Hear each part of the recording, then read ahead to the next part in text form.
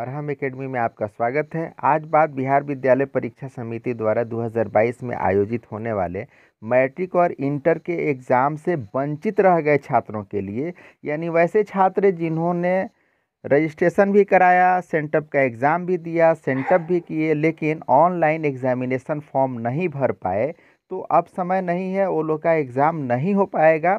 Annual 2022 का exam.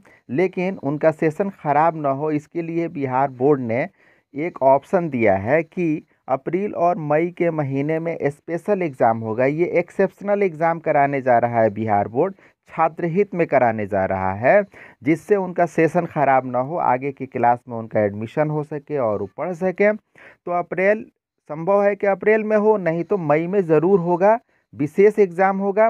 और इसका रिज़ल्ट मई या जून में ज़रूर आ जाएगा। सबसे अच्छी बात यह है कि जो रिज़ल्ट आएगा वो एनुअल एग्ज़ाम के लिए जिस तरह का मार्कशीट मिलेगा, उसी तरह का मार्कशीट मिलेगा। यानी उनके मार्कशीट पे डिवीज़न भी लिखा होगा कि वो फ़र्स्ट सेकंड थर्ड किस डिवीज़न से पास किए।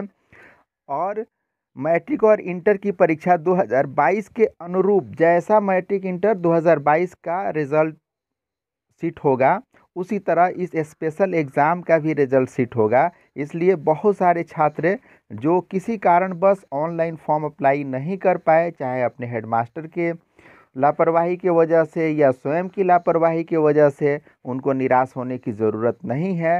वो लोग तैयार हो जाएँ अप्रैल, मई में स्पेशल एग्ज़ाम देने के लिए और मई, जून में रिज़ल्ट भी उनका आ जाएगा। उनका एकेडमिक सेशन ख़राब नहीं होगा।